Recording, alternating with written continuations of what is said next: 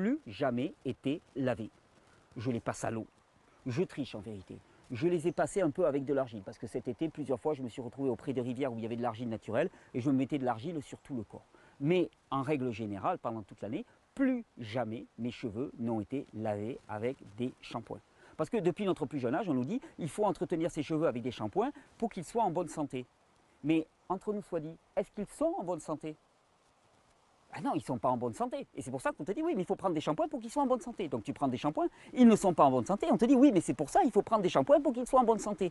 Et puis les traitements, ça va être tous les jours. Il paraît qu'il y a des gens qui se lavent les cheveux tous les jours. C'est absolument stupéfiant. Et puis après, ça va être deux fois par jour pour qu'ils soient entretenus. Pourquoi? Parce que tu essayes de contrecarrer les symptômes et tu essayes de contrecarrer l'homéostasie en permanence. Et donc, il va falloir exercer une pression de plus en plus importante pour empêcher que le cheveu se rééquilibre de façon naturelle.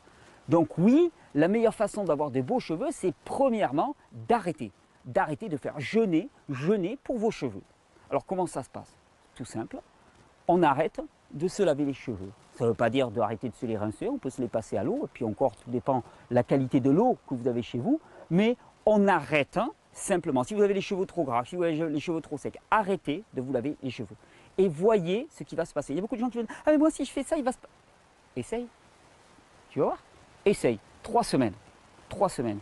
Tu vas voir que, premièrement, ton crâne ne va pas se sentir affreusement mauvais. Ben non, pourquoi? Parce que comme à la surface du corps, il y a un ensemble de bactéries et de micro-organismes qui sont là pour nettoyer tout ton crâne. Tu crois que c'est à tes petits shampoings de te nettoyer le crâne, alors que tout ça, c'est fait par toutes les bactéries, bien mieux que n'importe quel shampoing, et surtout avec aucune agression, contrairement au shampoing. Alors, comme toujours, quand on se met à jeûner, quand vous jeûnez pour la première fois avec votre corps, les deux, trois premiers jours, vous pouvez avoir des réactions de détoxification. Ça ne va pas être obligatoirement confortable. Hein, des fois, quand tu te mets à jeûner, tu vas vomir, tu vas être malade, tu vas te sentir faible, hein, tu ne vas pas te sentir bien. Bon, avec les cheveux, c'est possible. Il va peut-être se passer quelques jours où tu vas avoir un petit peu des démangeaisons, hein, où tes cheveux vont d'abord passer par très gras, puis très sec, puis à nouveau très gras, puis très sec. Ok, il y a une petite phase d'adaptation. Fais ça quand tu es en vacances, quand tu bosses pas, par exemple, quand tu n'as pas tes collègues en train de Bon, j'espère que vous allez bien. Moi, je vais super bien. Donc, par rapport à la vidéo des 5 ingrédients pas top pour les cheveux afro, vous m'avez fait comprendre qu'il vous faut quand même des bases, quoi.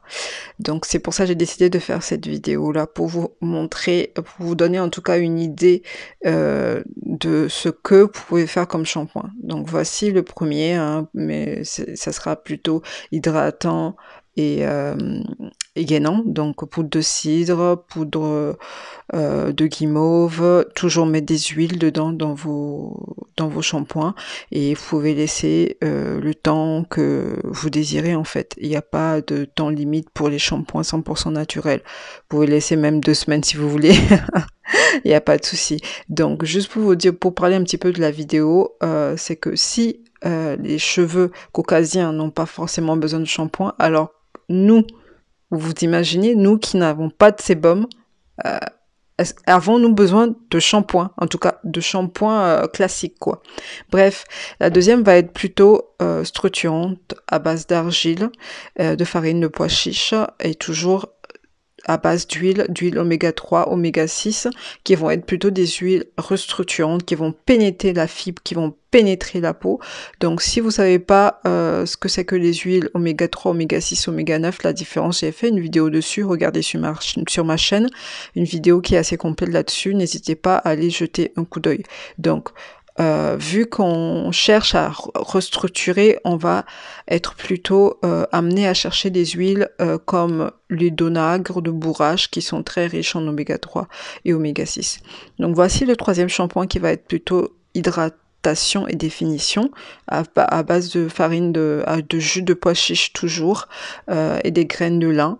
Donc de farine de pois chiche, de graines de lin et d'huile de ricin. Voilà, euh, l'huile de ricin qui est aussi lavant, qui est antibactérien aussi, donc vous allez le faire cuire comme vous vous savez bien cuire euh, votre euh, gel de lin et vous allez filtrer avec un collant. Donc ça définit ça démêle les cheveux. Le temps de pause, c'est un temps de pause illimité pour, pour tous les shampoings. Donc voici, j'espère que ces trois recettes vous aura inspiré à créer les vôtres ou vous pouvez euh, tout simplement faire les trois recettes là et alterner. Sur ce, si vous avez des questions, n'hésitez surtout pas au TEP et à très bientôt.